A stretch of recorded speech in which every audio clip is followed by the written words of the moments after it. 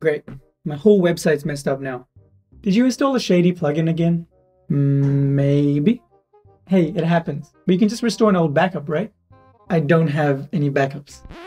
Wait, wait, wait. You're telling me you don't have backups of your website? No, I don't. How's it going guys? I'm Yaz from the Brainstorm Force team back with another WordPress tutorial for you guys. And if you want to improve your WordPress skills, make sure you subscribe down below and turn on your notifications. In this video, I'm going to show you how you can easily back up and restore your WordPress website for free. If you have a WordPress website, it's essential to create regular backups of your website in case something goes wrong. Trust me, you don't want to end up like my friend at the start of this video. So if you guys are ready, let's get started. Alright, here we are on the WordPress website we'll be using for this video. And just like I said at the start of the video, it's really important to have regular backups of your WordPress website, just in case something goes wrong. In the case where something actually goes wrong, you could lose all your data from your website, all your images, your content, your posts, and you don't want that to happen. And by having regular backups, in case something goes wrong, you can actually restore that backup and keep all your data from your website. Alright, let's get started. First, we're going to go ahead and install the plugin and the plugin we'll be using is Updraft Plus, and this is my preferred choice when it comes to backing up and restoring on my WordPress website, just because all of these features are available for free. Let's check it out. So first, we're going to go into the plugins menu on our WordPress dashboard over here, and then click on Add New. And once we're here, we can go up to the top right here into the search bar and type in Updraft Plus. And the one we're looking for is this one here, Updraft Plus WordPress Backup Plugin. We're going to go and hit install now. And once that's installed, we can also press activate. And once that's all done, the plugin will now be installed. And you might be wondering why I chose Updraft Plus over the competition. There's actually a lot of different plugins that can do very similar, a lot of great backup and restore plugins. But Updraft Plus, like I said earlier, all the features we need are all available for free. And I'll get into those a little bit more as we go through in the video. Alright, now that the plugin has been activated, we can go into the settings over here and go down all the way down here where you say Updraft Plus Backups and you can click on that. And here we are in Updraft Plus's menu. As you can see, it's very simple. It's actually very easy to use as well. And I'll walk you through step by step on how we can set up our backups. And on the first tab you see here, it says Backup and Restore. And over here, this is where you can actually create manual backups of your entire website. And you probably guessed it right, the way you create a backup is by clicking on this big blue backup now button, which we'll check out in a little bit. And down here, this is where the existing backups will be shown. So once we've created a backup, it'll actually show us a list of all the available backups we can restore from. All right, so now if you guys are ready, I'll just quickly demonstrate how easy it is to create a manual backup of your entire website. So we're gonna go ahead and click this big blue button over here, just like that and here. And what it says is take a new backup with some checkboxes as well. So the first one asks if we want to include our database. Yes, we do. The second one, it's asking us to include your files in the backup. So the files are like all the content on your website. So all your plugins, themes, images, all of those things. So of course we want to include that with this backup. I'm going to leave that checked. And the next one's mentioning remote storage. So Updraft Plus actually lets us send our backup file onto cloud storage which is really cool and it's also part of the free package as well. I'll talk about that more later in the video. First, we're gonna leave it as is. And the last one here, we'll talk about a little bit later as well. At the moment, I'm just gonna leave it unchecked we're gonna press backup now. And as you can see, it's already started creating our backup files right here with this progress bar. So we'll just wait until the backup is completely finished before proceeding with the video. Alright, Updraft Plus has now finished backing up our website. And as you can see down here, existing backups, there's now one available and it tells you when that was created. And down here, this is the actual backup that's been created. So right here, you can actually download the different parts of your backup files. You have the databases, plugins, themes, uploads, and others. You can download each one of these individually and keep them on your local machine as well. Just like this, for example. Let's download the themes and it'll give you the option to either download it to your computer or delete from your web server. So it's really convenient. You can back up and download all the different parts of your website and keep them on your local machine if you'd like to, just to save space on the web server. And from here, it even tells you how much space Updraft Plus is currently taking up on your web server. Currently it's 154 megabytes. And if we want, we can also remove this backup once we've downloaded onto our local machine. And over here, this is where the restore button is. It's really easy to restore a website as well, but we'll come back to that later in the video. But now you know how easy it is to create a manual backup using the Updraft Plus plugin. All right, next we'll move on to some other additional features with this amazing plugin. And again, it's all part of the free version.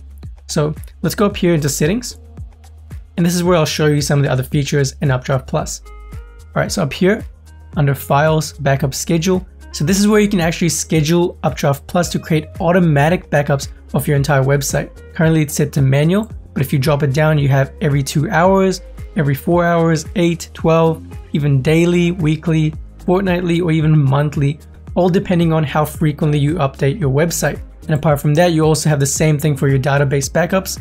So you can schedule it to backup automatically so you don't have to worry about doing it manually at all. And on the right hand side, you can also specify how many backups it's actually retaining. So every time a new backup is created, it's only going to retain the two latest backups. And you can modify this setting for both the files as well as the database. So for example, let's go ahead and change this up a little bit. We're going to change this from manual to weekly. We can also change this to any number we want. So I'm just going to choose four, for example. And down here, database backup as well. We're just going to do daily, for example. We're just going to keep it on two as well. So that just shows you how you can change this to match your exact needs. It totally depends on how frequently you're updating your website with new content. And it's going to go ahead and back it up and make sure you have all the changes backed up properly. This is a really good feature to have and it just gives you peace of mind knowing that your website is regularly backed up as you specified over here. And again, this is all part of the free version of this plugin and that's what makes it really great. And now moving on to the next feature, this one's really important because we really do not recommend that you keep your backups on your web server. Because what happens is if your server has any issues and it actually goes down, it'll take your website and your backups all with it, leaving you with nothing to restore with. This is why it's really important for a good backup plugin to give you the option to send your backup files onto a cloud-based storage solution. So for example, with Updraft Plus, you have a whole range of different storage options you can choose. You have all the popular ones like Dropbox, Google Drive, OneDrive. All you have to do is connect your account and when it backs it up, it will send your backup files onto your storage as well. For example, in this video, let's go ahead and set up a Google Drive. It's really easy to do so. So I'm just going to click on Google Drive over here. And then it will drop down these additional settings over here. And right here, you can specify the name in your Google Drive folder where it'll be storing your backups. So I'm just going to leave it as Updraft Plus. And then down here, it says authenticate with Google. You only have to do this once. And after that, all your backups will be automatically sent to your Google Drive. So I'm going to click on this here in a new tab. In here, you'll have to sign into the Google account associated with the Google Drive you want to use. For example, I'm just going to choose this one here. And once you sign in, it will ask you if you want to give Updraft Plus access to your Google account. This is only to do with the folder in your Google Drive. I'm just going to go ahead and click allow over here. And lastly, on this page, all you have to do is press the complete setup button over here to connect Updraft Plus to our Google Drive. Once that's done, we're back in our Updraft Plus menu. And now if we go back into settings, and you might notice that the schedules we created earlier are now back to their default settings and that's because after we changed them to our new settings, we didn't actually go down here and save them. So if you've modified this and you're looking to add your Google Drive account, make sure you go down here and save before you actually leave the settings menu on Updraft Plus. That's the only thing that happened. So I'm just gonna quickly change this back. Just like we had it before, I'm just gonna click on save right here before we make any more changes. All right, that's all good to go. Your settings have been changed, it says up here. All right, so now back here again with our storage option, I'm just to click on Google Drive once again.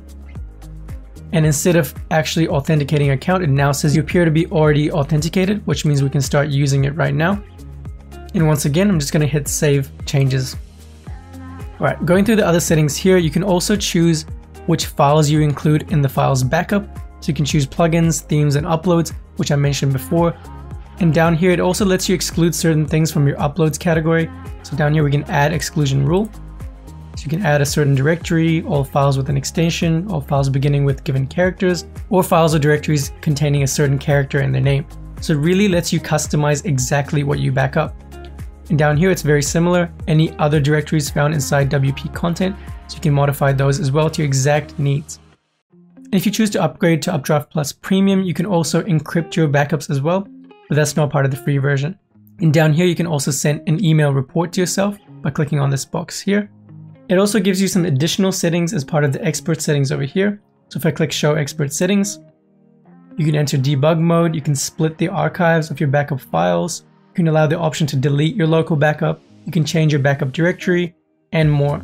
But just for the purpose of this tutorial, I'm going to keep it basic and just hit save changes, and we'll move on to the next step. Alright, now that we've set up our Google Drive as our cloud storage for our backups, I'll show you how that works.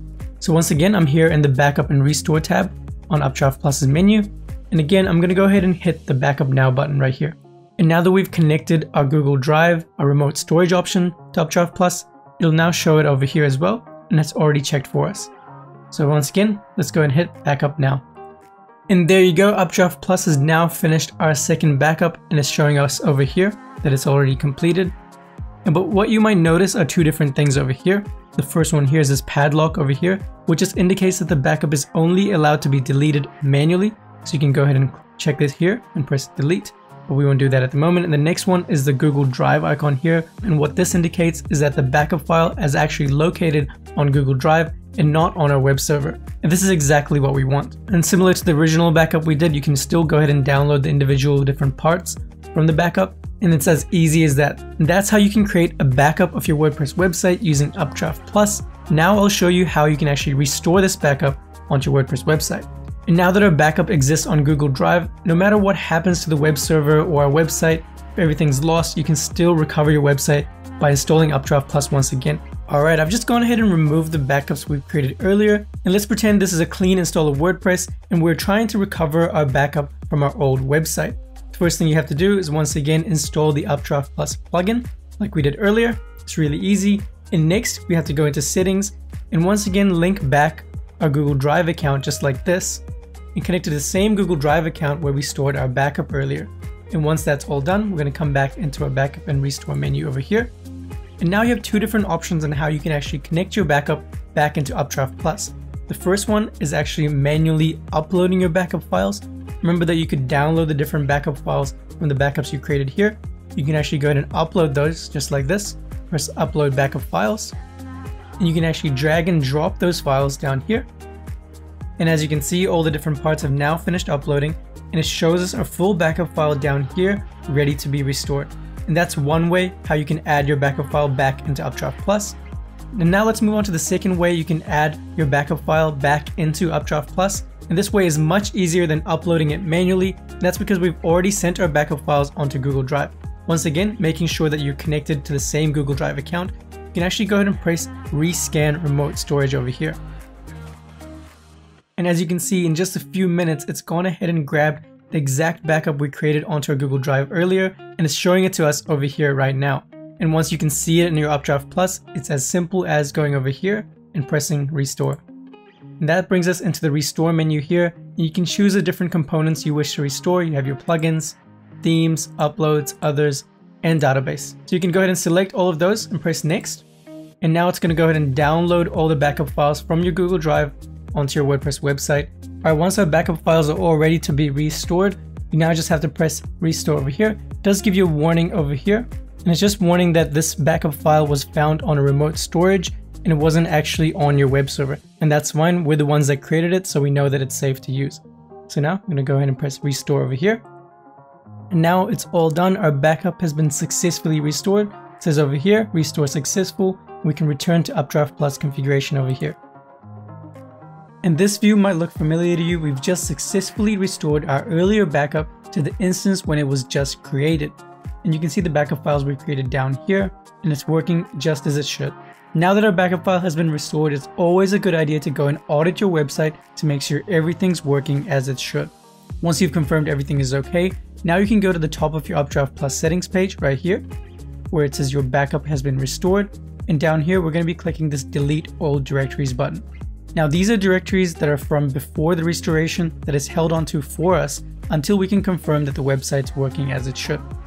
Let's go ahead and click on delete all directories right here. And as you can see, remove all directories. All is saying okay, all directories have successfully been removed. And now we can return back to Updraft Plus configuration over here. And that's it. That's all we have to do to restore Updraft Plus backups on our WordPress website.